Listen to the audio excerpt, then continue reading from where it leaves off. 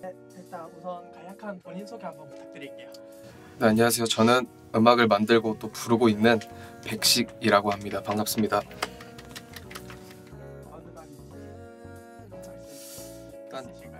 네, 일단 저는 제 노래들 대부분이 이제 사랑에 관련된 노래들인데 사랑을 하다가 뭐 이제 설렘이나 아픔 또 그리움 이런 곡들이 되게 많아요. 그래서 제가 지금 추구하고 있는 거는 최대한 그 공감을 할 수 있는 누구나 한 번쯤은 사랑을 하잖아요. 그래서 그런 모든 분들이 공감을 하면서 겪을 수 있는 일들에 대해서 만들고 있고 또 앞으로도 계속 좀 더 많은 공감들을 형성할 수 있는 곡들을 만들려고 하고 있습니다.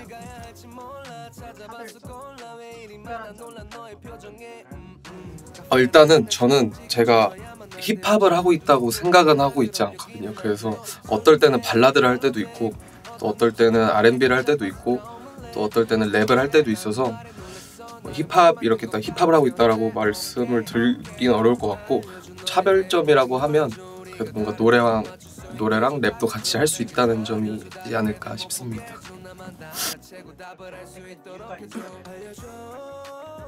일단 오늘 세 곡을 준비했는데 첫 번째 곡은 이제 작년 제 첫 EP 앨범의 더블 타이틀곡 중에 하나인데 알려줘라는 곡이고요.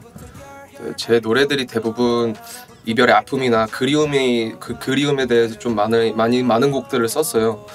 근데 알려줘라는 곡은 몇 없는 설렘이 많이 담긴 곡이어서 어, 사랑하는 사람이 생겼을 때 그 사람에 대해서 뭐든지 모든 걸 다 궁금해하는 그런 남자의 마음을 담은 곡인데 어, 이 곡을 조금 편곡을 해서 같이 보여드리면 좋지 않을까 싶어서 고르게 됐고 두 번째 곡은 같은 EP 앨범에 속해 있는 후회라는 곡인데 이 곡은 제가 좀 애정을 하는 곡이에요.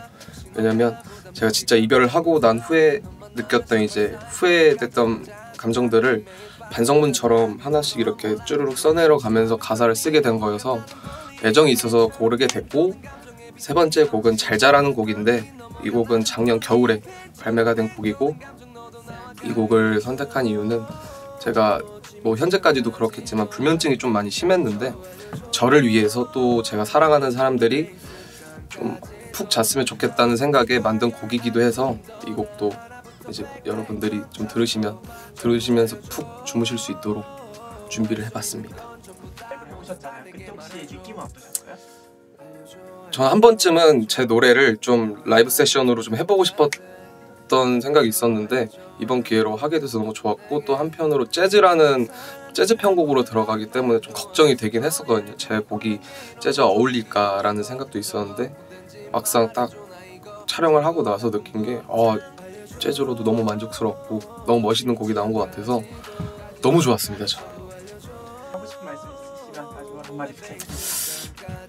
제가 작년부터 한 달에 한 곡씩 계속 발매를 하고 있어요. 그래서 올해도 어김없이 계속 한 달에 한 곡씩 발매를 하고 있는데 올해 12월까지 이제 발매를 생각해둔 곡들이 준비가 돼 있고 그 내년부터는 좀 더 새로운 것들을 많이 해보려고 해요.